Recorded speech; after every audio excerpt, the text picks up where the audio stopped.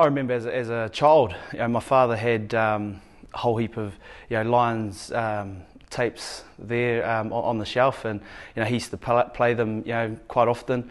Um, he's he's a he's a mad rugby rugby fan and a player, and uh, he's the ex-coach. So, you know, um, I was all around rugby. Having the opportunity to, to play against the Lions in uh, 2005 for Wellington Lions was uh, just a fantastic occasion.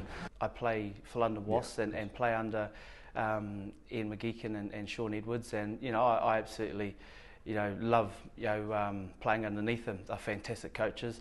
Um, you know, we, we come to training, we learn something every day from them, and that's what we, we what we need as, as players. You know, even though we're playing at the highest level, you know, we're still going to training every day and picking up something new. And uh, so, no, it'll be fantastic. Obviously, you know, still a lot of room for improvement, and, and I'm all about playing, you know, consistently good rugby for whatever team I'm playing for. And uh, you know, if I can do that and put that put put my best out on the field every game, you know, um, I'm, I'm pretty happy.